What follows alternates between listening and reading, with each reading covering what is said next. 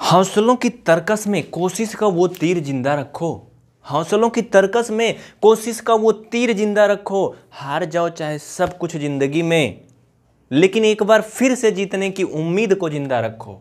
जी हाँ साथियों, बिल्कुल, इन्हीं उम्मीदों को ज़िंदा करते हुए आज हम आगे बढ़ेंगे और बहुत ही महत्वपूर्ण टॉपिक लेकर के आए हैं। ये क्लास होली 2020 में रिकॉर्ड हो रही है। आज यानी कि 10 मार्च 2020 को आप लोगों से विनम्र निवेदन और प्रार्थना है कि इस होली को सफल बनाएँ और इस वीडियो को पूरा देखना कॉन्सेप्ट आपका क्लियर होगा और इस वीडियो को लाइक कर दो तुरंत जल्दी से और शेयर अवश्य करना। चैनल को सब्सक्राइब करके बेल आइकन प्रेस करिए जिससे कि घर बैठे मैथ सीख सकें। चलिए, आगे बढ़ते हैं। हमारा क्वेश्चन है और आपका भी क्वेश्चन है। ये तीन संख्या दी गई हैं, इनको हमें संख्या रेखा पर प्रदर्शित करने हैं। संख्या रेखा आप सभी जानते हो ऐसे होती है, जिस पे बीच में ज़ीरो होता है। ये इधर मैं इसको बढ़ा दूँगा, ज़ीरो इधर साइड में, मैं साइड में इसलिए लिखा हूँ, चूँकि हमें माइनस वाले से मतलब है नहीं तो इस वजह से मैं इसको थोड़ा किनारे लिख रहा हूँ। ठीक ना? जिस पर दाहिनी साइड सभी अंक पॉजिटिव होते हैं, बाई साइड सभी निगेटिव होते हैं। तो यहाँ पर साथियों, वन है और यहाँ पर टू है। इधर साइड में यहाँ पर माइनस वन है और इधर यहाँ पर माइनस टू है। अगर आप लोगों ने भिन्न वाला वीडियो देख लिया कि भिन्न को संख्या रेखा पर कैसे प्रदर्शित करते हैं तो आपको ये कॉन्सेप्ट क्लियर हो गया होगा। नहीं देखा है तो डिस्क्रिप्शन में देखो लिंक होगी। अभी इस वीडियो को पूरा देखोगे तो लास्ट में आपको लिंक मिल जाएगी स्क्रीन पर, उसको देख लेना। उसमें सब क्लियर हो जाएगा और ज़्यादा इसमें तो हम फ़िलहाल बता ही रहे तो ज़ीरो पॉइंट टू ज़रा सोचो ये ज़ीरो पॉइंट टू मतलब क्या है? यहाँ तो कहीं दशमलव मिले नहीं रहा, आप कहोगे, कहाँ दिखाएँगे इसको? क्या ये दो पे दिखाएँगे? नहीं। ज़ीरो पॉइंट टू एक्चुअली क्या है, यहाँ पर इधर साइड में देख लो इसको। ये ज़ीरो पॉइंट टू जो है, एक और दो के बीच में है क्या? नहीं।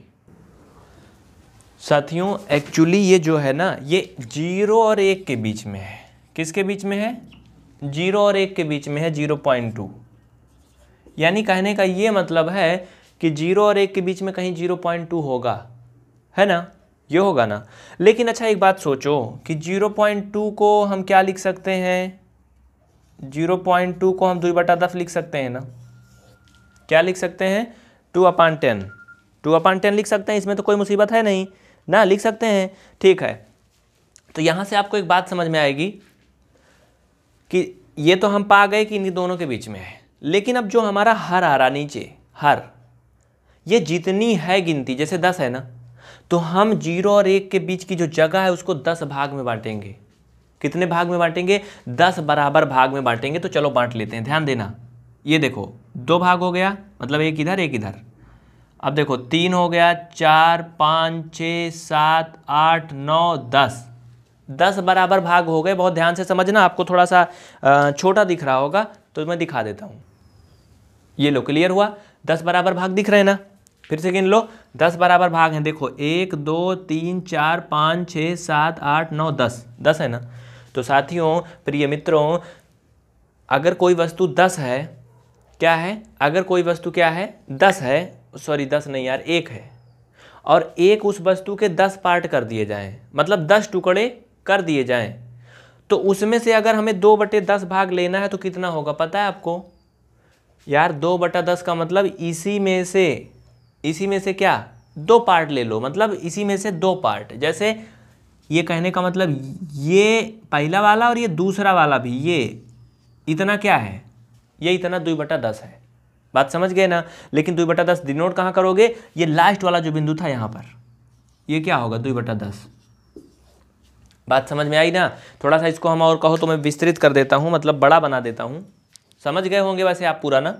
तो दो बटा दस किधर रहेगा? बीच वाले बिंदु पर नहीं रहेगा, इस बात को याद रखना, यहीं पर रहेगा दूसरे वाले पर। ठीक ना?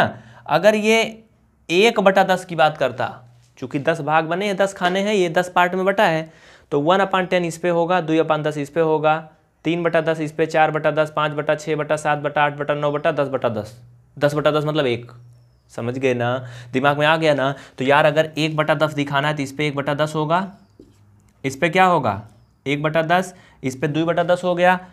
यहाँ पीछे से अगर आ जाओ तो यहाँ नौ बटा दस है। ठीक, यहाँ से अगर आ जाओ तो आठ बटा दस है। यहाँ पर अगर आओगे तो दस बटा दस है। दस बटा दस मतलब एक। और रियल में एक है भी यहाँ पर नीचे, देखो, है ना? समझ गए ना? तो ये होता है इसका सारा फंडा। 1.9 को भी ऐसे कर लो। चलो, चुटकियों का खेल है यार ये। और वीडियो को स्किप मत करना, पूरा देखना। समझ में आने की गारंटी होती है भाई। बस पूरा देखना, भागना मत। स्क्रीनशॉट ले लो अगर लेना है तो जल्दी से। जल्दी करो फट से। तो साथियों, इस तरह से आप ये कॉन्सेप्ट क्लियर कर लिए होंगे। आज टाइम की कुछ कमी है, इस वजह से हम इसे यहीं पर इंड करेंगे। बहुत छोटा वीडियो होगा। आप लोगों से निवेदन है कि इसे समझ गए तो ज़्यादा से ज़्यादा शेयर करना। बस यही एक चीज़ ध्यान रखना है। पहले ये किसके बीच में है, ये देखना है। और अगर वो चीज़ समझ में आ गई ना तो फिर आपको क्या करना है? संख्या रेखा पर उन संख्याओं के बीच में जो जो मतलब बीच में आ रही जिसके बीच में वो उसके भाग कर देने हैं बस। आपसे विनम्र निवेदन है इस वीडियो को ज़्यादा से ज़्यादा शेयर करना साथियों और लाइक तुरंत करना और चैनल को सब्सक्राइब करके बेल आइकन को ऑन करना जिससे कि आपको अगली वीडियो भी मिल सके। और लाइव देखिए पीवीआर स्टडी प्रयागराज पर हर दिन सुबह से शाम तक बहुत सारी लाइव होती हैं। तो बने रहे हमारे साथ। शुक्रिया। कोटि कोटि धन्यवाद एंड जय हिंद। मिलेंगे फिर अगले वीडियो में तब तक के लिए आप सभी बने रहे हमारे साथ।